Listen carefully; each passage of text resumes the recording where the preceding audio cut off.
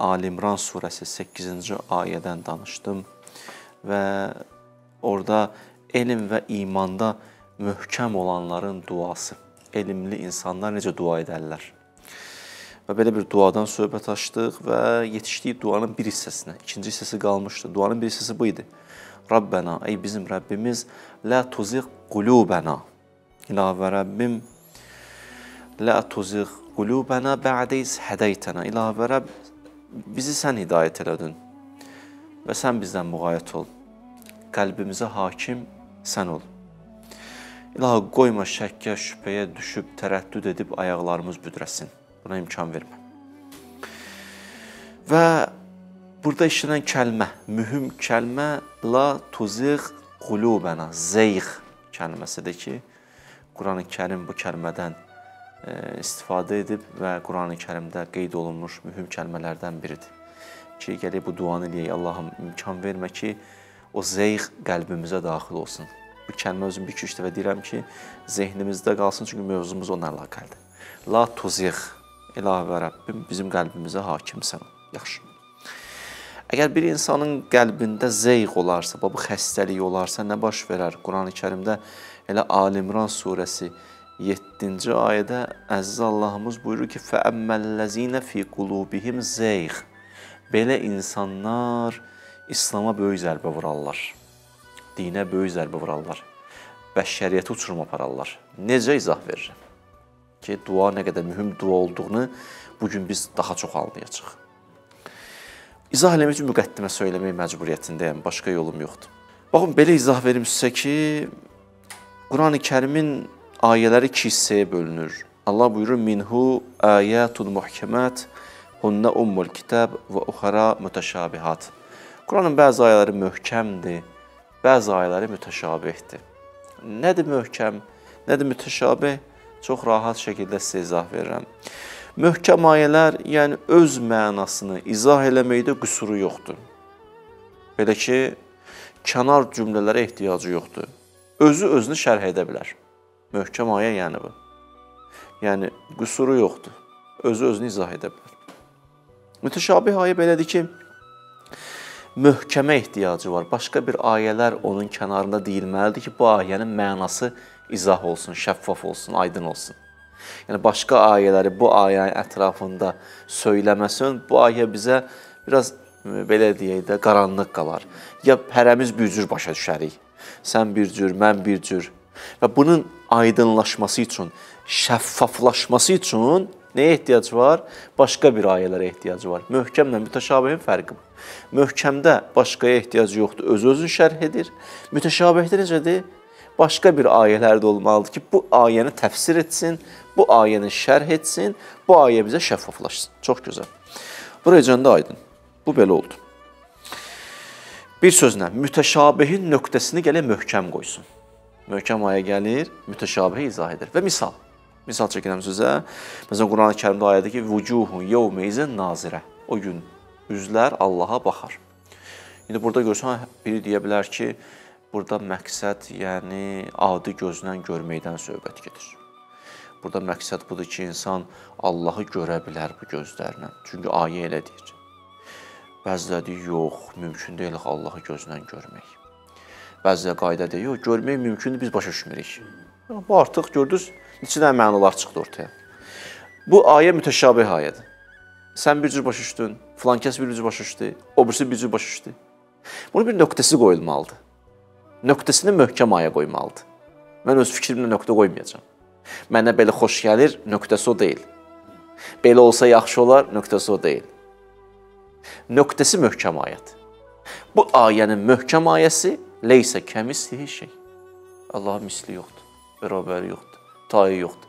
Deməli, biz Allahı bu gözlə görə bilmərik. Onun tayı bərabəri yoxdur. Görsəydi, deməli, tayı bərabəri var. Aydındır. Gəldi möhkəm ayə, izah verdi mütəşabih ayə. Bu bir misal. Çox sadə. Qurani Kərim belədir, baxın. Ona görə deyirlər ki, bir dənə ayəni götürüb bayraq eləməyin. Bir dənə ayəni götürüb adamların üzərinə getməyin. Quranın bir ruhu var, mənası var. Quran möhkəm ayələrlə şəffaflaşır. Təfsir olunur, izah olunur. Burayıcan deyə bildim yəni ki, bu mühüm müqəddimələrdən biridir. Və biraz da açıram sizə. Nə demək istəyirəm sizə? Qurani-Kərim iki hissədən ibarətdir. Zahiri mənası var ərəb dilində. Batini mənası var. Nə mənada? Nazil olub da, dərin mənaları var, batini mənaları var. Qurani-Kərim hər ikisindən söhbət açır. Görün nə gözəl deyir ayə. Buyurur: "İnnehu fi ummil kitab lədeyna la'aliyyun hakim." Bu kitab xüsusi məqamdadır, xüsusi yerlərdədir, batini tərəfi var. Lədeyna bizim yanımızdadır. Yaxşı. İnna ca'alnahu Quranan ərəbiyyan la'allakum taqilun. Amma biz bunu salmışıq bu ərəb dilinə. Deməli bunun bir batini var ki, zahiri ərəb dilindədir. Necə ki bizim həyatımızda da belədir, biz də beləyik. Zehnimizdə bir məlumatlar olur, düzdür? Məlumatlar. Bir şey düşünürük. Sonra nə edirik? Söz şəklinə salırıq və ifadə edirik. Məna sanki söz şəklinə nazil oldu. Zehnimizdə bir məna, fikirləşin, bir hadisəni fikirləşin, hadisəni düşündünüz, indi söz şəklinə salırsınız. Başlayırsınız məndən danışmağa. Deməli, bir söz şəklindədir, bir də məna şəklindədir. Məna şəklində sanki zehnimizdədir, söz şəklində artıq dilimizlə ifadə edirik. Nazil oldu söz şəklinə. Məna söz şəklinə nazil oldu. Quran da belədir. Dərin mənası var, sözlərdən ibarətdir. Dərin məna söz şəklinə düşüb. Yaxşı. Bu da bir məna. Bunlar çox mühüm müqəddimələrdir. Həqiqətən. Əgər inşallah bu gün siz bunları qəşəng öyrənin, çox mühüm məsələlər sizə şəffaflaşacaq. Mən çox sadələşdim. Bu gün inansınız ki, elə yazmışam, pozmuşam ki, bir də mən sadə dillə izah bildim bu, bu sözləri. Bu da mühüm məsələdir. Yaxşı. Biz axı dedik ayələr bölünür mütəşabih, möhkəm. Möhkəm bəllidir. Mütəşabihdə isə başqa ayələrə ehtiyacı var. Hərə bir cür başa düşə bilər. Çox gözəl. Quran ki 2 dənə hissədən ibarətdir. Batini aləm, zahiri. Batini aləmdə mütəşabih yoxdur. Orda ora həqiqət aləmidir. Orda hər şey su kimi şəffaf, gün kimi aydındır. Orda hər şey olduğu kimidir. Orada görürsən nə var, nə yox. Orada da mən belə başa düşüm, sən belə başa düş, belə deyil. Orada məna aləmidir, həqiqət aləmidir, gerçəklik aləmidir. Nə var odur. Daha nəyi var onu görürsən. Başa düşürsüz? Orada da mütəşabih yoxdur. Batini aləmdə mütəşabih yoxdur. Həqiqət aləmidir. Hər şey gözünün qabağında şəffaf. Nəyə nəyə şəkk eləyəcəm ki? Başa düşürsüz? Da mən buna belə baxıram. Görürəm Qurani-Kərim. Da görürəm də bunu. Burada nə şəkk? Ora həqiqət aləmidir. Orada mütəşabih yoxdur. Batini aləmdə mütəşabih. Hər şey möhkəmdir. Hər şeyin nöqtəsi qoyulub. Ona görə deyir, ora gedib girə bil, ora daxil ola bilsin, oranı seyr edə bilsin. Həqiqi aləm ordadır. Yaxşı. Buraya can yaxşı. Hər şey o aləmdə şəffaf, aydındır. Yerə nazil olanda, söz şəklinə düşəndə, yerə ki nazil oldu. Elə ki məna kəlmə şəklinə düşdü. Elə ki məna söz rənginə boyandı. Elə ki məna söz libasına büründü. Neçə dənə söz dedim də? Rahat başa şey. Məna söz şəklinə düşdü. Həqiqət bir gəldi, şəkil aldı, söz şəklini aldı, söz rəngini aldı. Yaxşı. Elə ki o mənalar söz şəklinin aldı, nəticə nə olur? söz şəklini alan kimi mütəşabihlik yaranmağa başlayır. Mütəşabih burdadır. Orada mütəşabih yoxdur. Yəni söz kasatlığının təbii nəticəsidir. Kəlmələr, sözlər bundan artıq ola bilməz. O boyda dərin mənalarda söz şəklinə düşəndə mütəşabih olacaq. Məna aləmində amma mütəşabih yoxdur. Hər şey həqiqətdir, aydındır. Amma məsumlar üçün yer də elə göy kimidir. Ora necə həqiqət aləmidir. Elə burdan da baxanda onlar onlar üçün hər şey şəffafdır. Hər şey gün kimi aydındır. Ona görə peyğəmbər üçün mütəşabih yoxdur ki. İmam üçün mütəşabih yoxdur ki. O ayə dəqiq nə demək istəyir başa düşür. Allah o ayədə ona nə söyləmək istəyir, nə ima eləmək istəyir tam başa düşür. Bizə çatanda mütəşabih olur. Nöqsan bizdədir, orada deyil. Misal çəkim sizə. Misal bundan ibarətdir ki, məsələn deyirəm amma göydən yağış yağır. Leysan kimi. Gəlir düşür yerə. həyəti bürüyür, başlayır axmağa. Axanda köpük yaranır. Göydən köpük yağmayıb, yağış yağıb. Müşkül yerdədir. Köpüyü yaradan yerdir. Göydən köpük tökülmür ki yerə. Göydən su tökülür yerə. Bu ayələr də su kimidir. Töküləndə yerə mütəşabihlik yaranır. Amma peyğəmbər üçün hər şey hər şey sudur. Su kimi şəffafdır. Onlar üçün də mütəşabih deyilən bir şey yoxdur. İmam üçün mütəşabih deyilən bir şey yoxdur. Ayənin həqiqətini görür. Batinin görür. Dəqiq bilir. Nə var, nə yox. Ayə nə demək istəyir? Onu bax ona haralara gedir çıxır məsələlər. Yaxşı. Bizdə də belədir də. Hərdən məsələn gəlirsən bir dənə tutaq ki, ziyarətə qayıdırsan, gəlirsən. Deyirlər necə yer idi? Dayanırsan, dayanırsan. Deyirsən ki, izah verim. İzah verirsən, deyəndən sonra deyirsən, tam o izah verə bilmədim. Alınmır. Biraz da çalışsan izah verməyə deyirsən, yox, söz sözə sığmır o mənalar. Mən söz axı çox məhduddur axı. Ora qeyri-məhdud yerdir. Mən okeanı sənə qətrə ilə necə izah edeyim? Başa düşürsən? Axırda nə deyirsən ona? Deyirsən oranı görmək lazımdır. Baxın, məsumlar ki, o aləmin həqiqətini görür, Quranın batinin görür. Onlar üçün hər şey su kimi şəffaf, gün kimi aydındır. Bizi üçün amma mütəşabihdir. Onlar bizə izah verir sözsüz ki, amma oranı görmək lazımdır həqiqətən. Ora başqa aləm. Məsumlar oranı görürlər. Həqiqət aləmin görürlər. Gerçəklik aləmin görürlər. Yaxşı. Gəldim çatdım bu yerə. İndi nə baş verdi? Bax, məsələ bundan ibarətdir. Quran da belədir. İnsanlar da belədir. Məsələn deyirəm, bu bir dənə misal çəkim insanlardan. Tutaq ki, bir nəfər bir dənə söhbət edir, hə? Onun söhbətini hərə bir yerə yazır. Bir deyib bunu demək istədi. Biri deyir, onu demək istədim. Biri deyir, yox, mən bilən belədir. Mütəşabihdir. Bunun üçün nə lazımdır? Gələk biz o şəxsin zehniyyəti ilə tanış olaq. Ana xətti ilə tanış olaq. Ana fikirləri ilə tanış olaq ki, sözləri şərh eləyə bilək. Düzdür? Yoxsa hərəmiz bir şey deyəcəyik. Biraz adamın insafı olmasa başlayacaq bədgümanlara qapılmağa. Mən bilən bunu dedi ya. O birisi yox, mən bilən bu, mən bilən, mən bilən yazıq axırda kafir çıxartırlar misal üçün də. Onu elə bir vəziyyət salacaqlar ki, çox pis olacaq vəziyyət. İnsan da belədir, yaxşı. Deməli bir nəfərin sözünü şərh eləmək istərsə, onun ana fikirlərini bilməlisən. Onun ana fikirlərini bilmədən, onu tanımadan sözlərini şərh eləyəcəksən ki. Çox gözəl. Gəldim, yetişdim Qurani-Kərimə. Quran da belədir. Gərək Quranın ruhu ilə tanış olasan. Yoxsa hərə bir yerə yozar ayəni. Quranın ruhu ilə tanış olmaq istəyirsənsə, nə lazımdır? Quranın ruhunu kim bilir, onlara müraciət eləməlisən. Bəs Quranın ruhunu kim bilir? O Quranın batını kim bilir? Ayə deyirəm sizə. Ayəyə baxın. Allah bu innehu la Qur'anun kərim fi kitabin məknun. Bu Qurani Kərimin bir məknun, məknun yəni gizlin, batin tərəfi var. Batini tərəfi var.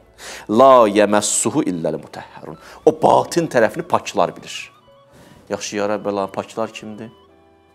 İnnəma yuridullah liyusib ankumur ritz əhləl beyt və yutəhhirəkum tətir. Onun batini tərəfini Allah deyir, mütəhhərlər bilir. Mütəhhərlər kimdir? Əhlül beyt, əhli beytdir.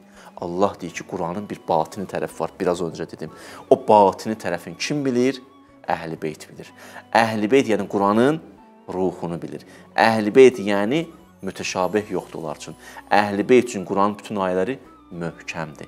Onlar Quranı anlayıblar. Onlar Quranı dərin başa düşüblər. Deməli, əgər sən istəyirsənsə, Qurani-Kərimi anlayasan, onda olan qapısına müraciət eləməz. Ona görə peyğəmbər dedi ki, mən sizin üçün 2 dənə əmanət qoyub gedirəm. Kitabəllah və itrəti. Niyə? Siz itrətdən ayrı düşsüz, Qurani-Kərimin ayələrini istədiyiniz yerə yozdurursunuz mütəşabihlərə tərəf üst tutuyorsunuz. İndi çatdım o yerə. Baxın ayə. 7-ci surə, 7-ci ayə Ali İmran. Deyir ki: Əzzallahımız fəəmməllezine fi qulubihim zeyq. Bundan əvvəl də budur. Buyurur ki, minhu ayatun muhkemat. Qurani-Kərimin bəzi ayələri möhkəmdir. Hunna ummul kitab. O Quranın anaları da o möhkəmlər. Deyərəm ya ana deyir. Və uxaru mütəşabihat. Bəzi ayələri mütəşabihdir, gözəl. Fə əmməllezine fi qulubihim zeyq. Qəlbləri xəstə olanlar, zeyq. Fəyəttəbiyuna ma təşabəhə minhu. Mütəşabihlərə qaçırlar. Qəlblərində zeyq olanlar hara getdi? Mütəşabihlərə getdi. Mütəşabihlərə də üst tutanda nə olur? Hərə bir cür anlamağa başlayır. Biri qayıdır deyir Allahın əli var, biri qayıdır deyir Allahın ayağı var. Biri deyir biz tam mənada muxtarıq, müstəqilik, Allah müdaxilə eləmir. Biri deyir yox biz məcbur varlığıq. Bunlar hamısı gedir ayəyə söykənir. Hamısı onda ayə deyir. Amma mütəşabih ayədir. O ayələr ki, nöqtəsini möhkəmlər qoymur. O ayələr ki, öz zehinlərinin məhsuludur. İmamətin qapısına getməyiblər. Gedib Əhlibeyt qapısını döyməyiblər. Ənə Mədinətul elm və Əliyyun babuha mən elmin şəhəriyəm. Əli qapısıdır, imamət qapısıdır. O qapını döyməyiblər. Yutəhhirəkum təthira. O pak olmuş Əhlibeytin qapısını döyməyiblər. Mütəşabih ayələrə müraciət ediblər. Hərəsi bir dənə mütəşabih ayəni götürüb bir dənə firqə yaradıb. Sonda da budur. Dünyanı alın. Dünyanın bəlası qədirxumdan uzaq düşməkdir. Dünyanın bəlası Kövsərdən uzaq düşməkdir. Dünyanın bəlası imamətdən uzaq düşməkdir. Dünyanın bəlası həsbuna kitabullah deməkdir. Bizə kitab yetər. Bizə imamət lazım deyil. Ona görə duaya baxın. Rəbbənə la tuziq qulubana qəlbimizdə zeyğ qoyma. Zeyğ olan insanlar edəcək? Deyir: "Əmməllezina fi qulubihim zeyğ" Onlar ki, qəlblərində bu xəstəlik var, ən böyük fitnəni yaradarlar. Ən böyük bəlaya duçar olarlar. O da Qurani-Kərimi istədikləri yerə yozarlar. Nəticə nə olar? Ayə davam edirəmsə. Deyir: İbtiğa el-fitnə. Fitnə yaradarlar və ibtiğa təvilihi. Fitnə nə edirlər? Fitnə haqqı batilə qatmaq, batilə haqqa qatmaq. Sonra təvil. Təvil nədir? Yozarlar. Elə sözlər deyir, adam deyir, düzdür, ayə deyir də. Düzdür, ayə deyir. Amma o ayələri deyir ki, mütəşabihdir. Möhkəm nöqtəsini qoymayıb. Öz başa düşdüklərini deyir. Quranın anlatdıqlarını demir. Qurana iman gətirmir sanki. Deyir, Quran mənə iman gətirsin. Bəzi insanların xüsusiyyəti budur ya. Quran, Quranı öz düşüncələrinə uyğunlaşdırmaq istəyirlər. Nəinki zehniyyətləri ilahi kitabın buyruqlarına uyğun formalaşsın. Özləri ona uyğunlaşmırlar, o qəlibə düşmürlər. Quranı öz qəliblərinə salırlar. Quranı qəliblərinə yox, öz qəliblərinə, şəkillərinə salmaq istəyirlər. Bəla budur. Ona görə əziz Allahımız deyir bu ayədə ki, Rabbana, ay bizim Rəbbimiz, la tuziq qulubana, qurban olum sənə, qoyma qəlbimizdə zeyğ olsun. Çünki bəlası başqa bir şeydir. Sonra nə deyir? Bax, burası nə deyim, ikinci isə. Bəd iz hədəytənə və həblənə min lədunkə rəhmə. Allah bizi öz rəhmətindən nazil elə. Əllamə izah verəndə bu ayəni deyirdi, burada rəhmətdən məqsəd yəni Quranı fəhm eləmək. Quranın möhkəmlərini anlamaq. Quranı dərindən başa düşmək, imamətin əlindən su içmək, Kövsər bulağından su içmək, imamətin qapısını döymək, Allah o batini Qurana üst tutmağı bizə nəsib elə. Ona görə hər Quran oxuyan, hər Qurandan danışan Quranın Qurandan bəhrələnməyib. İmam Baqir bir nəfərə dedi, alimlərdən biri idi. Dedi: "Ma varrasakallah min kitabihi hərfən." Allahın kitabından bir dənə hərf olsun belə irs götürməmisən elmin var, amma Qurandan uzaq düşmüsən. Quranı oxuya bilirsən, Quranın batinindən uzaq düşmüsən, özün xəbəri yoxdur. Bir dənə hərf belə sən Qurandan öyrəndiklərin öz məhsullarındır. Bax, nə qədər mükəmməl dua oldu bu dua. Bu duanı çox eləyin. Rabbana la tuzigh qulubana ba'da iz hadaytana. Allahım, sən özün qəlbimizdən müğayət ol. Sən bizi hidayət elədin. O zeyx xəstəliyindən bizi xilas elə. Ondan sonra nədir? Və həblənə min lədunkə rəhmə. Quranın fəhmini bizə nəsib elə. İnnəkə əntəl vəhhab. Sən vəhhab Allahsan. Əta eləyən Allahsan. Bəxşiş eləyən Allahsan. Əlimizdən tut.